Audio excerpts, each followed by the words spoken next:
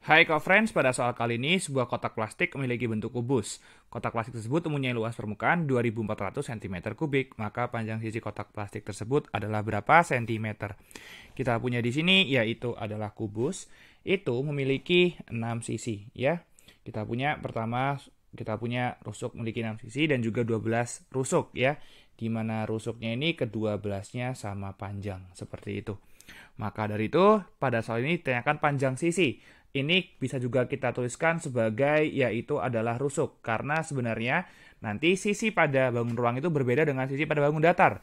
Jadi nanti kalau sisi itu artinya akan, akan maksudkan adalah sisi yang merupakan definisinya yaitu bangun datar yang menjadi kita punya pembatas dari bangun ruang dengan sekitarnya atau bagian depan ini contohnya dan juga kita punya rusuk adalah yaitu ruas garis yang menjadi pembatas dari sisi ya jadi itu perbedaannya nanti. Nah di sini kita punya yaitu adalah ada kita punya enam sisi dari kubus di mana semua sisinya itu kita punya yaitu adalah sama besarnya yaitu kita punya berbentuk persegi. Maka luas permukaan kan kita punya kita akan mencari total luas dari kita punya sisi-sisi dari bangun ruang. Berarti luas permukaan akan sama dengan 6 kalikan rusuk kalikan rusuk. Kenapa kita kalikan rusuk kalikan rusuk? Karena satu sisi dari kubus ini berbentuk persegi untuk mencari luasnya sama seperti mencari kita punya luas persegi, yaitu perseginya memiliki panjang sisinya itu adalah sepanjang rusuk dari kubus. Seperti itu ya. Luas permukaannya diketahui 2400. Kita punya sama dengan 6 kalikan rusuk kalikan rusuk. Seperti itu. Kedua ruas kita bagi dengan yaitu adalah 6 agar di ruas kanan menjadi rusuk kalikan rusuk saja ya. Atau kita punya 6 kalikan rusuk kuadrat. Ingat konsep kita punya kalau ada A kuadrat akan sama dengan A kalikan A.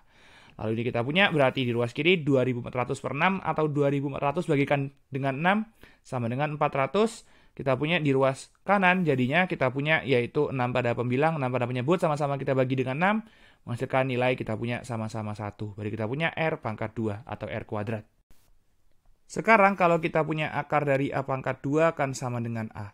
Jadi kita punya yaitu adalah ini, kita punya akar dari R pangkat 2 kan sama dengan akar dari 400 sama dengan kita punya R. Untuk mencari akar dari 400, kita akan menggunakan yaitu tabel dari bilangan berpangkat 2 seperti berikut. Kita mulai dari 0 pangkat 2 sama dengan 0 kalikan 0 sama dengan 0, sampai 10 pangkat 2 sama dengan 10 kalikan 10 sama dengan 100.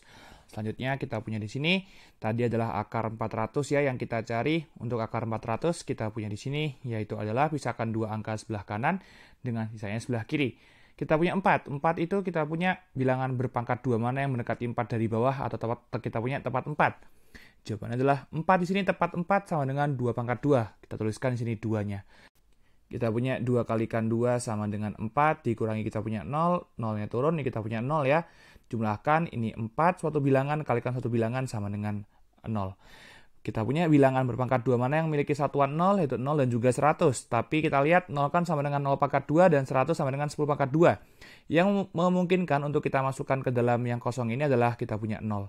40 kalikan 0 sama dengan 0, benar ya? Maka jawabannya adalah 20. Seperti itu. Kita punya di sini yaitu adalah R-nya berarti 20 cm. Ya, sesuai dengan pilihan yang B pada soal. Sudah ketemu ya conference jawabannya, maka dari itu jangan pernah menyerah untuk belajar dan tetap semangat belajar conference.